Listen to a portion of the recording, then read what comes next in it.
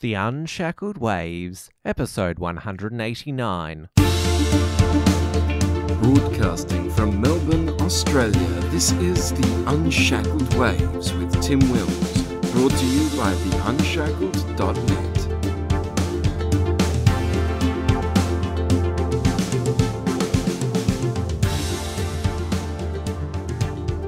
Hello, everyone. Great to have your company. The Wentworth by election campaign is finally underway, with the two main candidates emerging being the Liberal pre selected candidate Dave Sharma and high profile independent Dr. Kerryn Phelps. The Liberals' lack of female MPs and allegations of bullying of current female Liberal MPs is again in the news, with Ann Sudmalis now joining Julia Banks by saying she won't contest the next election due to bullying. A Royal Commission has been called into aged care in Australia in response to a Four Corners expose and repeated revelations of elder abuse, and the battle for the nationalist vote has heated up this week with Fraser Anning saying Safe Schools is designed by people who would have been strung up in his day, and Pauline Hanson moving a motion in the Senate saying it's okay to be white. To discuss it all, I am joined back this week by the Unshackled's political editor, Michael Smyth. Michael, welcome back to the show. Thanks, Tim. Uh, now, are you able to please explain your absence last week? Yes, apologies to our subscribers and followers. There were some unresolved computer issues that caused my absence and was not able to allow me to uh, do a proper uh, segment for the week. I hope you enjoyed Damien Ferry, our senior editor, however. Our viewers and listeners will actually notice tonight that there's less noise uh, coming for, from your end. Yes, I um the part of the um issues that I had um, with technology were the fact that the laptop I was using was overheating and thus causing a massive racket on the microphone. However, this old laptop, ironically, actually works a lot better in terms of not having as much um, sound coming from the cooling fans. I, would encourage you to use it for, for future shows. But uh, on with more uh, serious matters now. And uh, the Wentworth by election campaign is finally underway. Well, the, the Liberals uh, pre selected their candidate, uh, Dave Sharma, who was Australia's former ambassador to Israel. He won out of uh, a field of eight candidates. They had six rounds of voting. Uh, this was last uh, Thursday evening. The, the by election is held on Saturday, October the 20th. Now, uh, Malcolm Turnbull and John Howard, they backed uh, Dave Sharma and he beat the female candidates. It was reported that Scott Morrison had wanted a female, but he said that that was uh, fake news. And the other uh, high profile candidates, Christine Forster, Tony Abbott's sister, she dropped out early. Uh, Andrew Bragg, uh, who former uh, interim director of the, the, the Liberal Party and now with the Business Council, he pulled out uh, saying that he wanted to make way for a, a woman, but uh, it didn't work out that way. Mm-hmm. Well, at the end of the day, you've got to remember that the pre-selectors don't care if you're a man or a woman. It depends on how popular you legitimately are and whether they think that you will do the best job. So that's what it comes down to. We don't have, well, they, I'm not in the Liberal Party anymore, I haven't been for four years, but the Liberal Party does not have quotas as such, despite despite people in the Liberal Party saying, oh, we should have quotas. No, they shouldn't have quotas. They never should. And God willing, they never will. Uh, Sharma won because he had the most support, not because he was a man and not a woman, not because he was handpicked by Turnbull and blessed by Howard, but because he had the majority of uh, pre-selectors behind him at the end of the day. That's what it came down to. It should also be noted, speaking of our um, well, the, the choices for the people of Wentworth, rather, not ours, uh, that Peter King, the man that Malcolm Turnbull rolled in 2004, actually contested as a member of the Liberal Party for the pre selection. He was knocked out in the, I believe it was the fourth or fifth round. I haven't got the figures on me right now, but his vote actually increased steadily and then it dropped off before he was eliminated. Yeah, that was interesting. Oh, because he initially got uh, banned from the Liberal Party for I think it was five or ten years for running as an independent, but uh, it's been a long time uh, since uh, he uh, lost his, his pre-selection. So why not have a have a crack to uh, stick it up, Malcolm? Mm, it would have been beautiful if if Peter King had won the pre-selection. He would actually have won it for the he would actually win it for the Liberal Party. Now with Sharma, don't get me wrong, I I don't know Sharma personally, but what I've read on Sharma and what I've heard about Sharma is that he's decent. He's actually quite competent. But given that he is seen, rightly or wrongly, as Turnbull's man, I don't think he's going to be able to hold on as convincingly as Turnbull did, or indeed King did, before he got rolled in the pre selection of 2004. Well, who knows if uh, Malcolm Turnbull is even going to campaign for him because he's on a sabbatical in, in New York City. And let's remember that his uh, son, Alex Turnbull, uh, advocated for people to support the, the Labor campaign. Mm, mm. No, I don't think. Um, I don't think Dave Sharma can count on any support from Turnbull apart from saying, "Oh no, I'll back you. I'll back you in the pre-selection." Apart from that, Turnbull's not going to do anything for him. Yeah, and I doubt we'll see uh, Malcolm on a on a polling booth on uh, October 20. Now, uh, Malcolm Turnbull he held this seat uh, by a margin of 17.7%. Uh, so on paper, it looks a very safe Liberal seat. But what you have to remember is that Wentworth it takes it's one of the wealthiest uh, electorates uh, in in in the country. But that also means that yes, there's there's a lot of traditional wealthy uh, liberal voters, but there's also been a lot of inner city trendies move into the the area, and that's why um, Malcolm Malcolm Turnbull was had such a strong vote there because he was from the left of the, the Liberal Party, supported things like uh, action on climate change and, and same same sex marriage, and so Labor, uh, they they think that they can cause some mischief now that the the the, the great uh, progressive Malcolm Turnbull is gone. Uh, Labor's candidate is uh, Tim Murray. He was already pre-selected to contest Wentworth for the next uh, federal uh, election, and, and Labor has decided to uh, contest the the, uh, the by-election. And yeah, even if, despite uh, what uh, a lot of us think of Malcolm Turnbull, he managed to make Wentworth a, a very safe seat for the Liberals, and it's it's going to be difficult, especially since uh, a lot of those types of people who liked Malcolm are going to be bitterly uh, upset that he was dumped as prime minister and now they're being forced into this by-election. Well, what goes around comes around. Crimea River, Tim. I mean, honestly. I mean, he rolled Peter King in 2004, and he didn't get rolled in this pre-selection. He wouldn't have been rolled at his pre-selection had he, you know, been a man and stayed in Parliament. But then again, it's probably a good thing that he left because he would have just kept on sniping and sniping just like he did from 2009 to 2015 against the leader. So, you know, good riddance to bad rubbish, to be honest. Um, look, in regards to the demographics, yes, it's true they have changed. But at the end of the day, I don't think that enough of them are going to be thinking with their naive, hipsterish idealism to change the positioning of the electorate, at least they won't go to Labor. There is a possibility, however, that people may vote for Dr. Kerryn Phelps instead as a protest.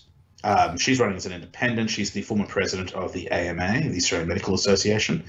There is a possibility they might vote for her out of spite, but you can probably expect quite a few of them to actually still preference Liberal second, even though there's actually a Labor consultant helping Dr. Phelps yes. in her campaign. uh, Darren Barnett, uh, he helped uh, in the the Super Saturday uh, by-elections as a consultant, and uh, Kerryn Phelps has said, "Oh, my independence uh, isn't co- compromised by this," and it's it, it's become pretty obvious that uh, Labor, uh, they're realizing they're not going to win this seat. Uh, next best option is to try and knock the Liberals off with a popular independent. Let's remember that the Labor Party ran uh, in the Mayo by-election simply so they could give preferences to Rebekha Sharkie to beat the Liberals' uh, Georgina Downer. So it's well, uh, Labor, you've got to admire their commitment to run in a seat that they're going to lose just to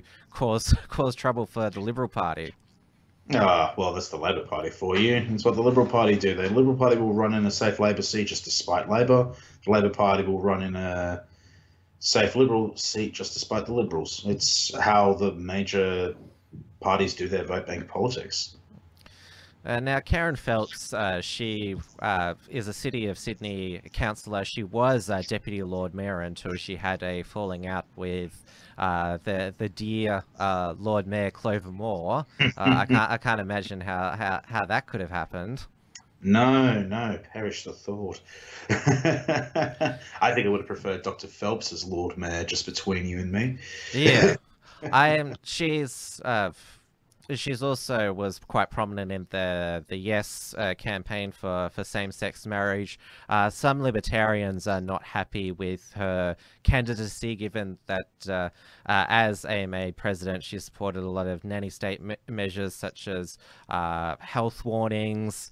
Uh, she, she she's trying to be the everything for everybody candidate saying that if I'm elected because if she wins then the uh, the government loses its one seat majority, that uh, I, I can I, I, can work with the government to achieve outcomes. I'm the uh, I, am the the person who's going to be happy to negotiate and help improve legislation. I mean, she talked about uh, ha how she was able to modify the the e-health records when that when that was uh, uh, st starting to get a lot of uh, attention. Which, yeah, you can see why a lot of people in Wentworth would be attracted to that, saying, well, even though we're going to uh, the, the government's going to be in minority, at least we'll have this nice independent who said she's going to work constructively. Whether that pans out in reality, who knows? Mm-hmm. Look, Dr. Phelps is a relatively astute woman, so I wouldn't want to put money down on the Wentworth result. My gut feeling suggests there's probably going to be either Sharma or Phelps winning the seat.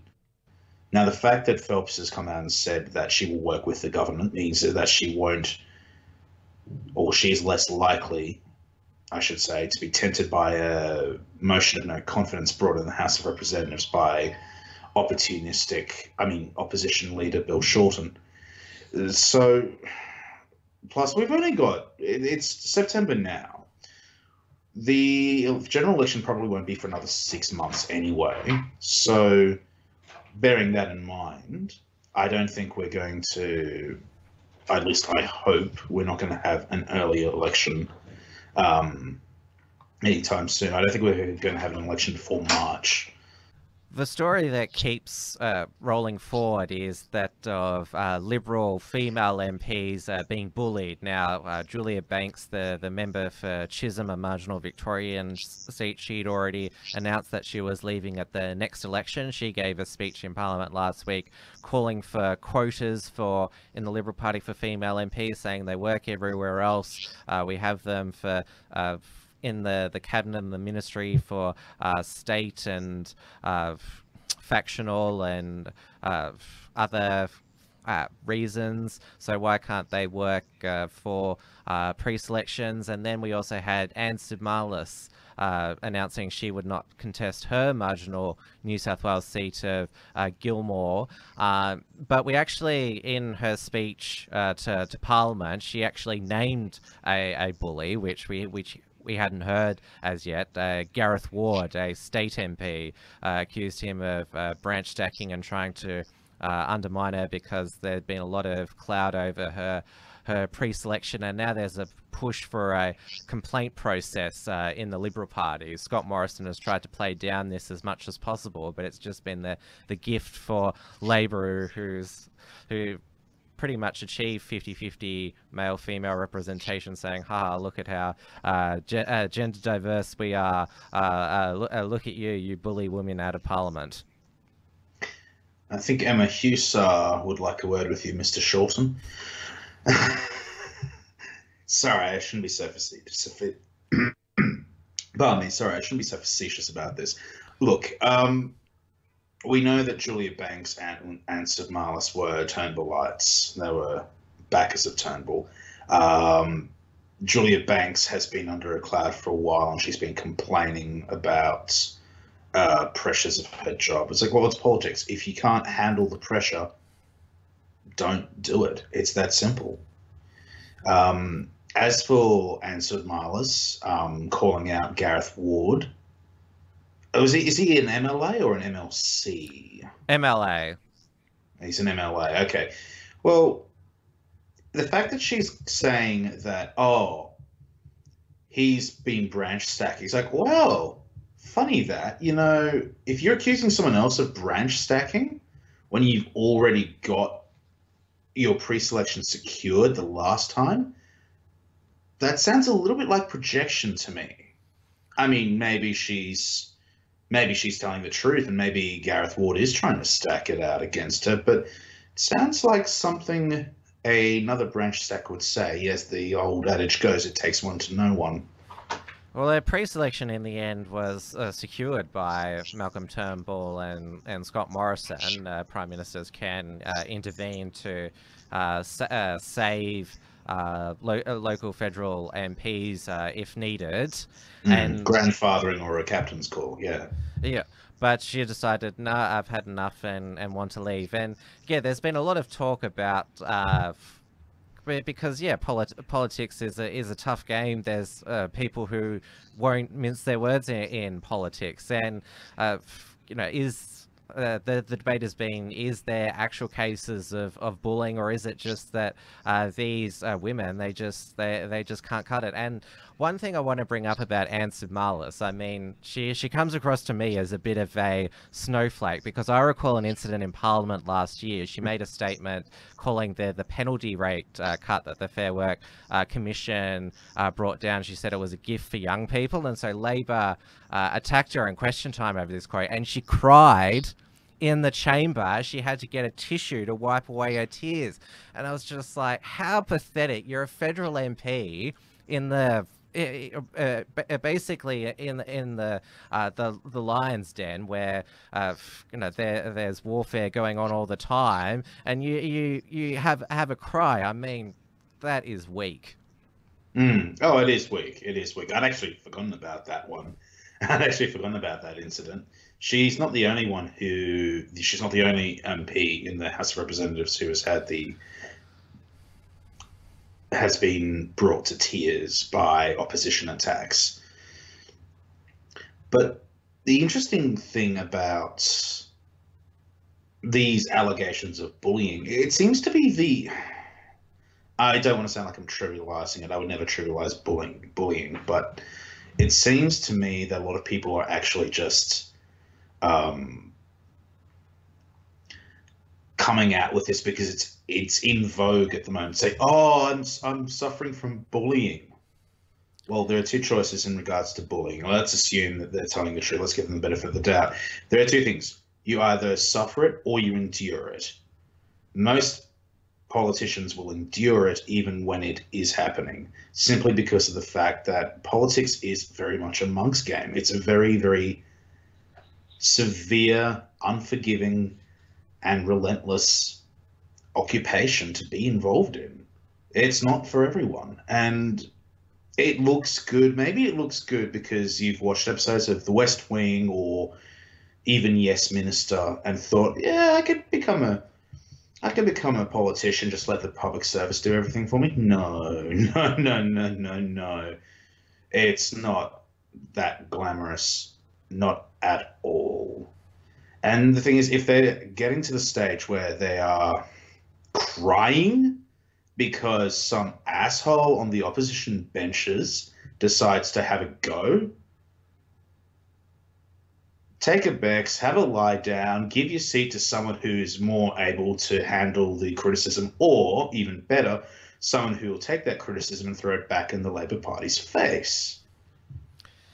And there was a everyone thought a coded uh, message because it's it's not just these no-name backbench female MPs, Julia Banks and Ann Sudmalis. There's also uh, Julie Bishop, uh, former foreign minister and deputy leader. She, uh, she she she said that oh this bullying it could actually be illegal, which is a bit of a stretch. I didn't know that incidents of of uh, bullying in, in politics would be illegal. And uh, this complaint process for the Liberal Party, this is being pushed by uh, the the Minister for Women, Kelly O'Dwyer, and they all wore uh, red in Parliament, which was interpreted by the media as some cryptic message, that some showing of female solidarity. And it seems to to me that these women are using this opportunity, or, or I'd say trying to salvage something from the leadership still saying, hey, we'll, we'll never have a better time to put our case for uh, more uh, more women uh, in the in the Liberal Party being being pre-selected than now. Let's milk it for all it's worth and uh, basically bully uh, to get quotas. yes, funny that. I, with all respect to Julie Bishop, I think she's wrong here. Um, if you're talking about banter within the parliamentary chamber, it's covered under parliamentary privilege, so no, uh, would not be considered as illegal, as, at least on the case of Ann Sudmalis being torn a new one by someone in the Labor Party.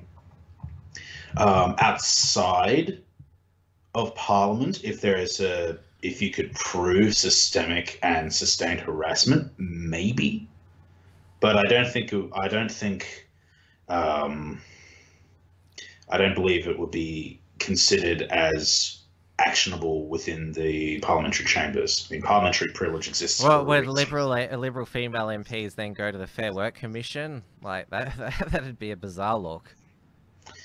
That and it just couldn't happen because the Fair Work Commission will look at it and say, um, "Yes, you're being bullied, but you're." Well, they might say, "Yeah, you're being bullied, but this is happening during Parliament, covered by parliamentary privilege. We can't do anything. We're sorry." At least that's how I would expect it to go down. Plus, if it did, if they, if anyone ever did, it would look extremely embarrassing. Although it's fortunate for Emma Husar that none of her staff has ever took her to the Fair Work Commission. Otherwise, she would have been, well, she would have been bankrupted most likely for her reprehensible behaviour and abuse of her staffers. And it's also been pointed out by commentators such as Andrew Bolt that all of these women, they come from the left of the Liberal Party. There's been no conservative uh, female Liberal MPs who've joined them, such as uh, Amanda Stoker and Concetta uh, Sher- uh, Fierravanti uh, Wells. And you, you would hardly think that there's there, there, there's different treatment for, for different women, even there's discrimination against female Liberal MPs or, there, or there's not. Why is there they're one group saying yes, the other saying no. Because Amanda and Concetta aren't a bunch of wuss, aren't a couple of wusses. That's why they've actually got. That's bullying language. Yeah. Oh, boo hoo hoo hoo. Sorry, can I get a tissue from him? Can I get a tissue? Come on. Look, look. Seriously though, um, no, I know Amanda. She, um, she and her husband are old friends of mine, and Amanda is a very solid representative and senator for Queensland, and she would not cry wolf over something as negligible or as pathetic as what Banks and Sudmalis have been doing. Put it that way. Um, Concetta Fierravanti Wells is the same. She's a strong woman, and she's not going to complain about a storm in a teacup. Put it that way. The interesting thing that I've noted here, and I noted it in the Australian yesterday, um, one of the vice presidents of the Liberal Party, uh, Teena McQueen, she made the comment that, and it was a rather scathing comment, actually, and it reads here as what did she write? What did she say? Ah, uh, yeah, I've got it here. When, yeah. Women always want the spoils of victory without the fight, unquote. Even if that isn't taken out of context, it is rather damning as an it's a rather damning indictment of the people who um, who are saying let's have quotas in parliament when you've got Teena McQueen saying let's not have quotas in parliament let's get everyone into their positions through merit not through quotas we're not the Labor Party yet so you know let's just keep things the way as the way that they are you know, I mean, it should be noted that Teena McQueen didn't become vice president of the Liberal, one of the vice presidents of the Liberal Party by being part of a quota, did she? She won it because she was able to win over the um, I forget the, I forget the technical name for it now. The the body that elects the executive of Liberal the Federal Council. Liberal Party. Yeah, the, she was she was able to convince the majority of the Liberal Council that she would be a suitable vice president. She didn't need a quota for that. Maybe that's why she's being so scathing about it. But you know what, Tim? She's right. We have a another royal commission that's been uh, called into the, the aged care sector. Now, we've seen uh, on the news uh, over the past few months some horrific uh, incidents of elder abuse where uh, uh, relatives of loved ones in nursing homes have put in hidden cameras and seen nursing home staff physically attack uh, pe people in uh, nursing homes and they've been prosecuted uh, for it. And there was also the, the high profile Oakden nursing home in, in South Australia that uh, shut down uh, after an ABC investigation in 2017. And now the well, we're in the, the middle of uh, ABC's Four Corners program. They're airing a two part uh, investigation into Australia's aged care uh, sector. Now, even before the the first part went to air this Monday night, uh, Scott Morrison, uh, the Federal Health Minister Greg Hunt, and the Aged Care Minister Ken Wyatt announced a, a royal commission basically preempting the, the, the program, which is, and we've seen, we saw, we saw a royal commission called into uh, uh, uh, into youth detention in the Northern Territory, I think about 10 hours after uh, a Four Corners program uh, went to air. Uh, this has been called before the Four Corners uh, episode has, has gone to air. And so they're really getting ahead of Four Corners here. And it used to be an old joke that Four Corners every episode is somebody saying, I want a royal commission into something. Hmm. Well, I wish I could say that was a joke, but it's not always a joke when people say that. Um, no, in fairness, I haven't actually had the chance to, because I've had a very busy week um, analyzing a lot of things and I haven't actually had a chance to watch the first part yeah, yet. I, have watched but... it, so I can I can go through it. So it it showed examples of uh, neglect of uh, people in nursing homes. So, so uh, things such as they they want to get out of bed, they're left in bed for like an hour, two hours. And, and they're not turned over, so they yeah. get bed sores, yeah. things like that. Yeah, mm. they're, they're stuff where air conditioning is not working properly and not fixed. Uh, radio TVs are broken and, and not fixed. And so basically, they're, they're the elderly. They're they it's either they're you know bored out of their brain. It's a, like can you imagine just sitting in a chair all day with with nothing nothing to do and also you know being stuck in bed with uh, soiled clothes it, it wouldn't be uh, ple pleasant at all so yeah it it wasn't as shocking as I thought it would be, given what we had seen on the news with these assaults. It was more just the, the little things. There was also, pro probably, I'd say, probably the most um, disturbing aspect was over medication of dementia patients. There was one lady who she, she basically went through like a full mental breakdown because she'd been uh, over medicated. One one th- the the main takeaway I got out of it is that it's like all of this could have been avoided if the the families had uh, been willing to make the sacrifices to look after their loved ones in home. Um, but of course, that doesn't excuse the, the, their mistreatment in these aged care centres. I mean, they pay good money to uh, hundreds of thousands of dollars to have a, a room in the in these places. You'd expect uh, better. Mm, exactly. And I think you've hit the nail right on the head there, Tim. The Oakden Nursing Home, was that the one run by the Avio company? Um, it was it was by the I think it was by I can't remember who it was run by, but uh, the the South Australian aged care minister she uh, resigned not just from her position but from Parliament at the 2018 state election. So uh, uh, the the buck stopped with the the state government in that case. Mm. Mm. Yeah, it's like I said, you've hit the nail right on the head there. Um, families should be taking care of their their elderly loved ones where possible, but that doesn't excuse the abhorrent neg- neglect and negligence on the part of some of the staff um, in some of these facilities. That being said, however, and and I have a friend of mine who actually works in aged care. He's a very good friend of mine.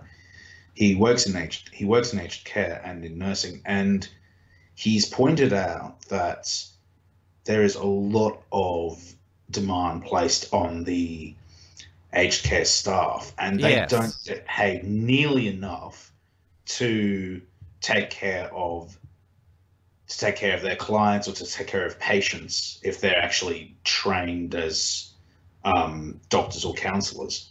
They don't get paid nearly enough. I mean, they get paid what minimum wage if they're lucky. Yeah, That's I they mean, get. you, you'd be you, you'd probably earn the the same being a shop assistant, uh, uh, working in a uh, aged care uh, facility, and yeah, they've al- also like the the training is like to get to to become an aged care worker. Like the the training is is pretty basic. It's only six to twelve weeks for looking after the vul- most vulnerable people uh, in society who have uh, a lot of well, the reason that they're there in those aged care facilities because they have chronic uh, health uh, c- uh, conditions. Mm, that uh, that their families probably can't take care of, even if they wanted to. And excuse me, sorry. Um, and the thing is, as well, I mean, it's not just the fact that they're only paid a pittance for what they do, an absolute pittance, which disgusts me. Not from a not because I'm a socialist, because I'm definitely not a socialist, but it disgusts me because the fact is these people are expected to be the carers, effective counselors, comforters, spiritual advisors, even in some cases. You know, you've got people who require, say, they don't want to go to church or mosque or temple or synagogue. You know, the the one of the nurses will drive them to um, their church or religious building of choice then you'll have sometimes they'll just want to talk and they'll just break down and tell you how much pain they've been suffering since they lost their spouse, since they lost their pet, since they lost whomever or whatever. And it just goes on and on. The, the aged care workers have a really, really difficult time. They do a lot more than they get paid for. They actually deserve a lot more money than what they get paid currently. And in a way, and it's still wrong if staff are physically abusing their clients. That's absolutely abhorrent. But you can understand why sometimes they might snap, why people might snap, because there's not there are not enough aged care staff to take care of all of our cl- all the people who require aged Yeah. care. they they calculated that aged care workers uh, in the morning have roughly six minutes per resident to basically get them showered, get them dressed for the day, and that we couldn't get ourselves clean and dressed in six minutes. Mm. Not even in four minutes when they have the level six water restrictions in Queensland. but seriously, sorry, I shouldn't laugh about that. But anyway, my point is six minutes is not enough. Even if you double that to 12 minutes, it, to have a proper shower, you probably need eight or 10, eight to 10 minutes at least. Mm. I don't know how long you take in the shower. I like to take 10 minutes because I like to be clean. Um, in terms of what brushing your teeth, it takes what three or four minutes to brush your teeth if you're doing it properly. Going do and not to mention all the other ablutions, which I won't go into. You get the idea. It's going to take a lot more than six minutes. It's it's weird that they're, they're paying top dollar uh, for these uh, rooms at nursing homes, yet the the staff are being paid um, uh, a pittance, as we as we just discussed, and there, there, there's also massive government subsidies. So where's all this all this money going to? Because if we agree that aged care workers need to be paid more, then the expense is going to go up even even further. I mean, it just because you know I come from an economic uh, uh, point of view that uh, if you if you want to pay workers more, then you've the the the the costs have to have to increase as well. I mean, would uh, would the the consumers uh, cop that, or I, I think they'd do anything to avoid the situations we saw on on Four Corners. But what is the uh, solution? You're going to hate this, Tim, because I am going to come up with a somewhat authoritarian slash regulatory answer. My answer is basically this. The amount of money that's poured into the aged care sector by government and by private benefactors and by subsidies from state governments in some cases should be enough to put up all of the clients of aged care facilities in the equivalent of a four star or five star hotel. But the fact is, they're not getting that. Where is all the money going? And I hope that this Royal Commission does find that out. But my suspicion is a lot of it is disappearing on overheads. It's not that they're embezzling the money, they're not embezzling the money. And even if I thought that, I would never say that. It's the overheads because you're paying consultants, you're paying marketing staff, uh. you're paying you're paying HR staff, human resources staff, um, you're paying cleaning staff. Yeah, in addition to the in addition to the nurses, um, and then you're in some cases also going through um, recruitment agencies, which also ties into human resources. So you've got five areas already where money is being spent before it trickles down to the aged care workers. So what I would suggest, if, if I were the if I were the aged care minister, and the findings of the Royal Commission pointed out that a lot of money is being wasted on inefficiencies and overheads, I'd be saying, okay, cut these overheads, or cut your profits. Otherwise, we will pull the funding from you and we will start up our own um, our own aged care system.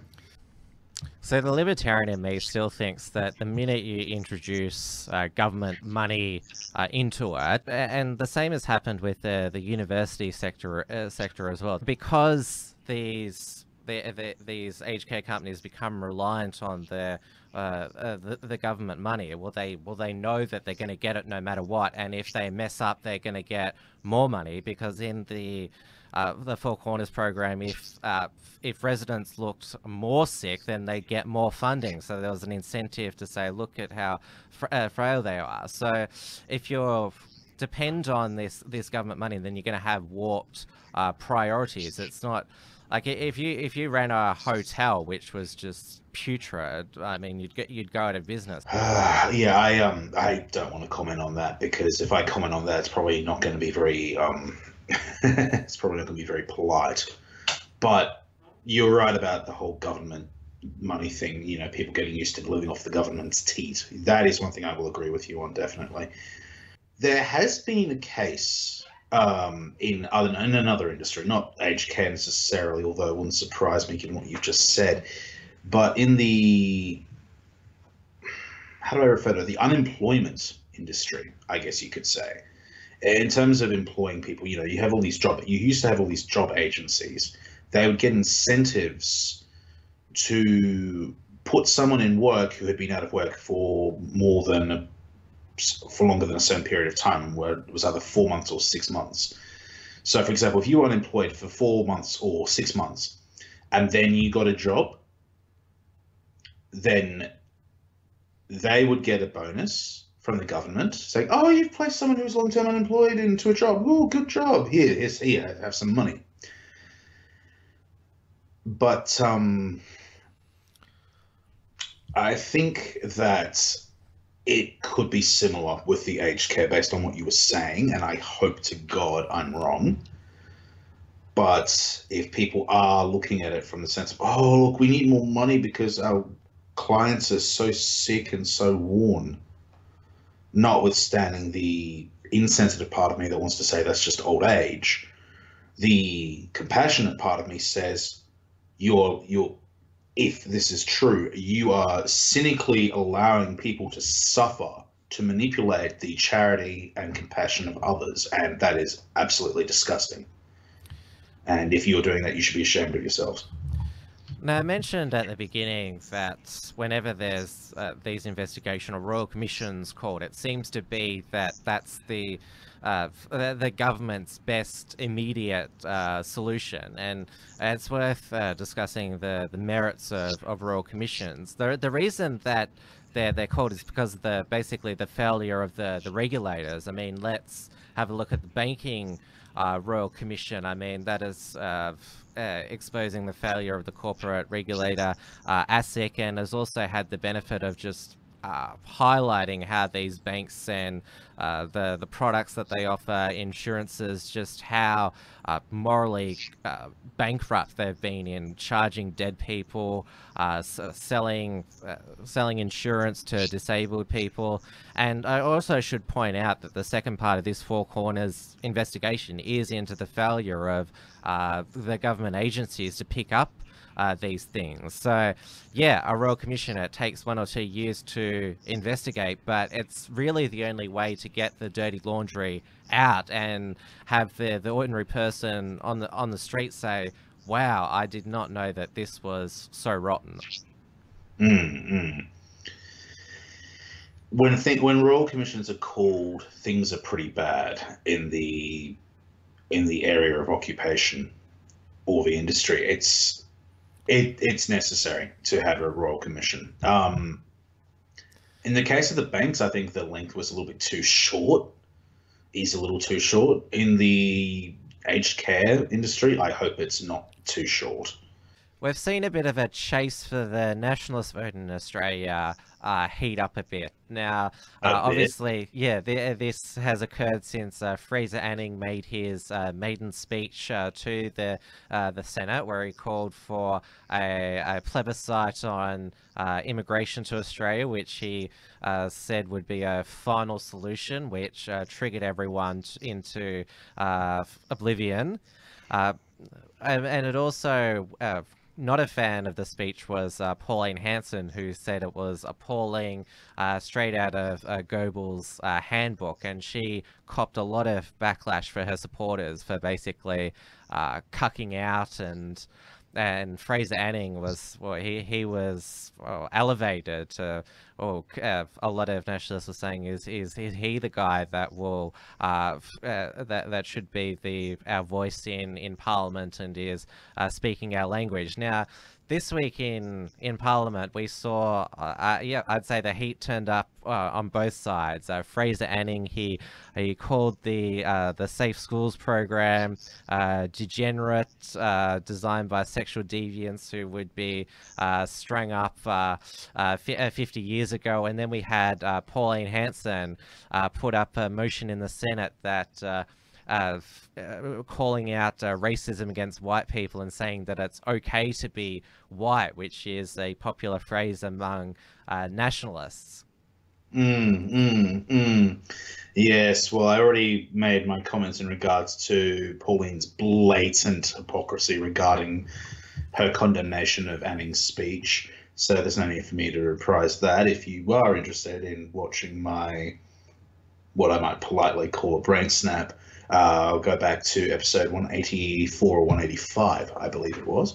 Anyway, um, look, the speech that Senator Anning made about, you know, what was the phrase he used? Como perverts, I think was the phrase. Yeah, yeah. I'm paraphrasing. There was, yeah. Uh, I've got the Twitter feed. I can I can bring it up here. Uh, if I just bring it up. Yeah, a communist pervert. yes. And a lot of people ask, because there are a lot of people who are opposed to the Safe Schools program simply because it's just disgusting. It's just wrong. Yeah. And and a lot of these people even include advocates of same-sex marriage as well. There are a lot of people who support same-sex marriage who hate, absolutely detest the safe school program because it's just disgusting. It really is. And Senator Anning is right to say that, you know, if they tried pushing this filth in the 1950s, well, they'd be in trouble. Maybe not strung up, but they would certainly be facing sedition charges, put it that way. I'd encourage uh, our uh, followers to check out Fraser Anning's uh, Twitter feed. Yes.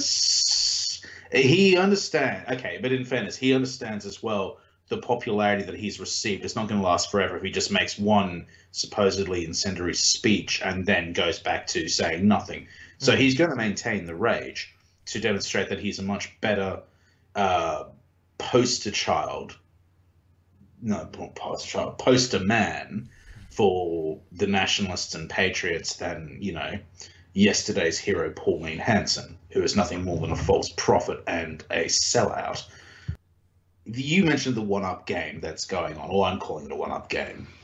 I would actually refer to it less politely as a pissing contest, but the fact is, Anning's winning that hands down as well. Yes, Pauline, yesterday, I think it was, actually gave notice to move a couple of motions saying that you know it's one it's okay to be white and what was the other part? I should remember the other Call, uh, part. calling out anti-white racism, the rise of anti-white racism. racism.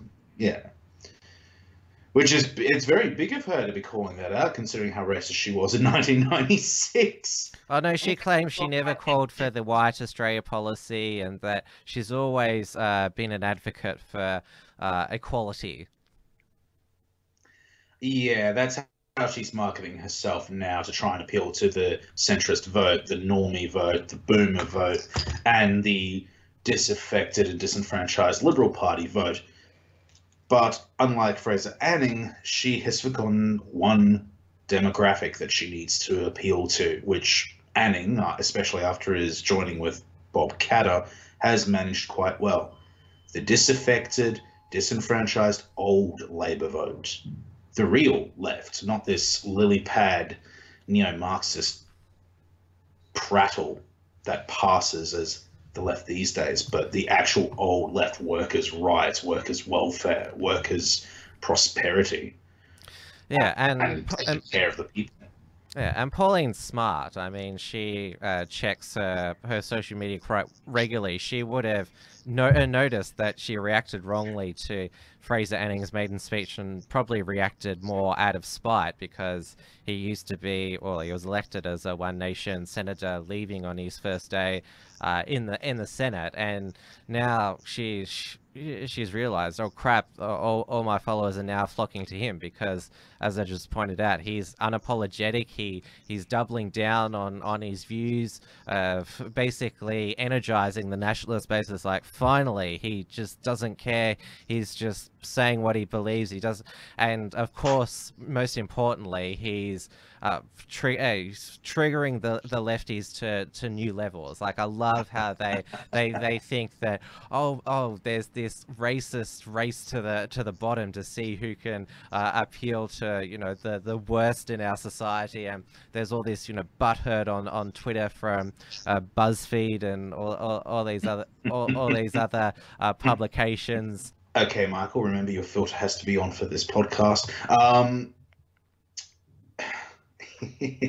I could I couldn't care less what those leftards, those morons, those snowflakes at the other so-called alt media outlets such as BuzzFeed and Junkee think. I couldn't care less what they think. They're a bunch of petulant morons, and they should be sent back to school to actually learn the difference between objectivity and subjectivity.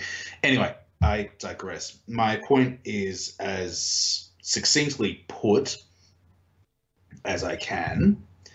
And it's still going to take a while because I have a lot to say and I need to think of a way to compress it into the next two minutes or less.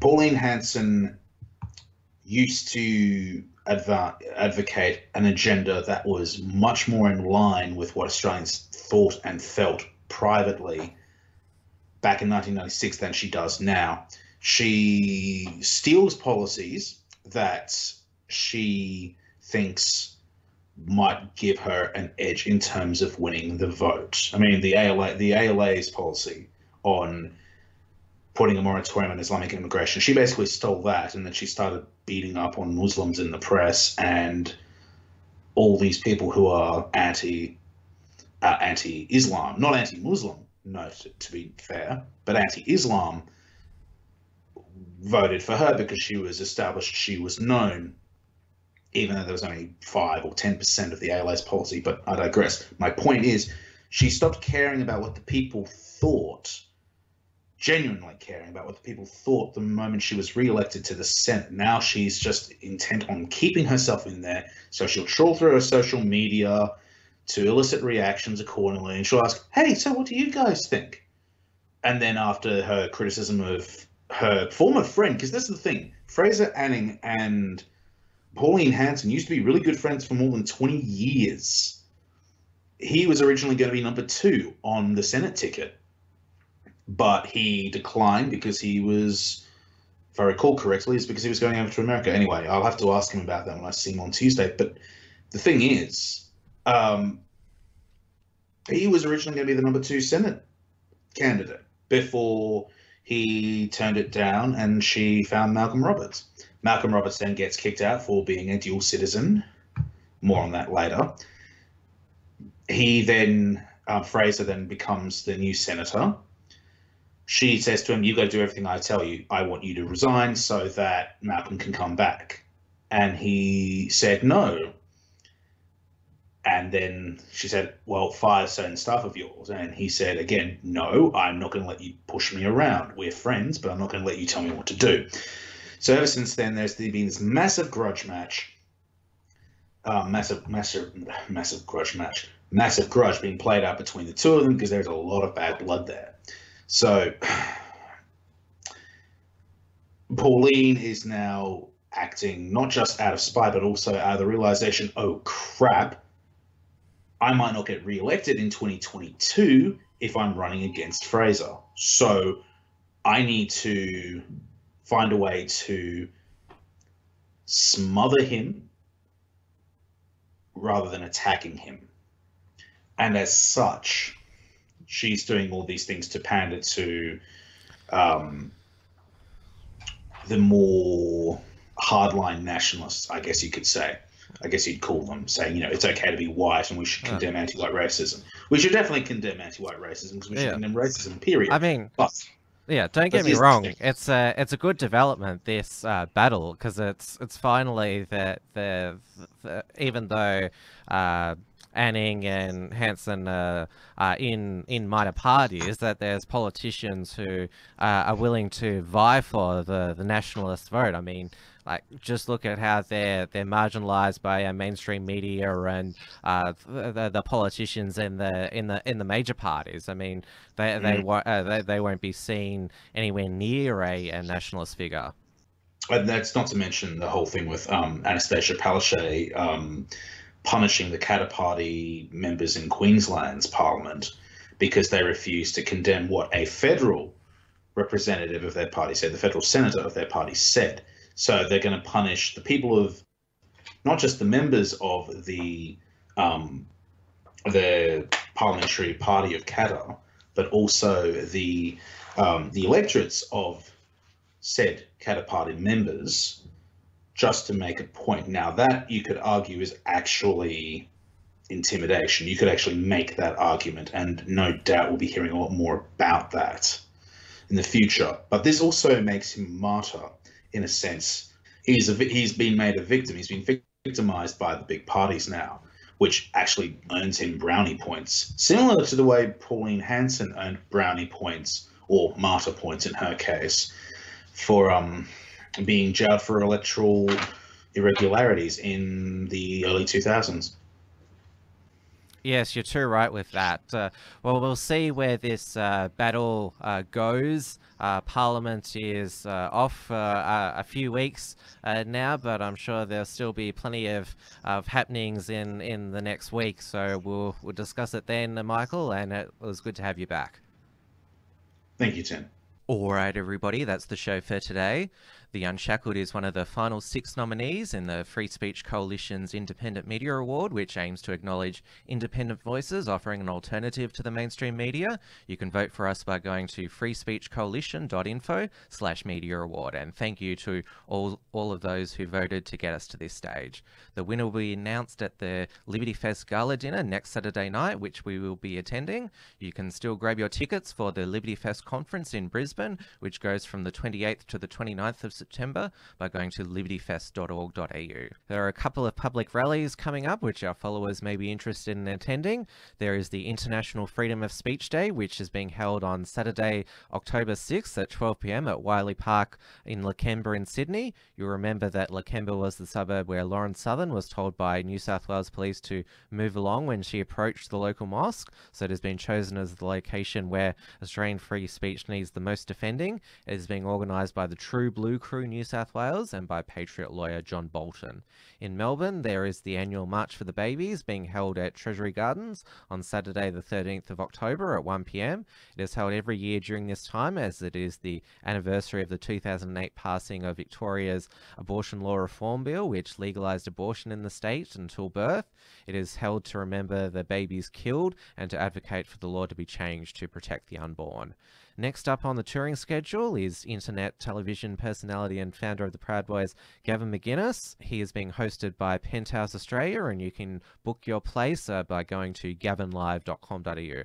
Also, as always, please consider becoming a patron of The Unshackled by going to patreon.com slash The Unshackled, or like many of you are doing, please send us a direct contribution via our PayPal link, which is paypal.me slash The Unshackled, which we are very grateful for. It all helps us continue to expand and uh, produce our output here at The Unshackled. So thanks once again for your company, and we'll see you next time. Thanks for tuning in to The Unshackled Waves. Please visit theunshackledwaves.net for all the ways to subscribe and follow the show. Don't forget to pick up your free ebook at theunshackledbattlefield.net and keep checking out theunshackled.net for all the latest news and commentary.